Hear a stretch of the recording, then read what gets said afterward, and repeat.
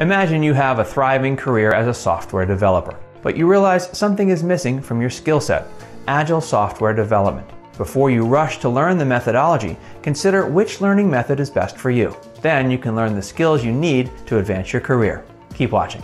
Formal certification courses. One of the best ways to learn Agile software development is through a formal certification program. The certificate will teach you everything you need to know to be a successful developer.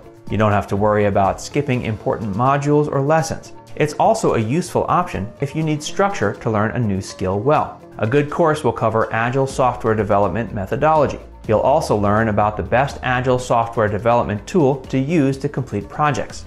Advantages.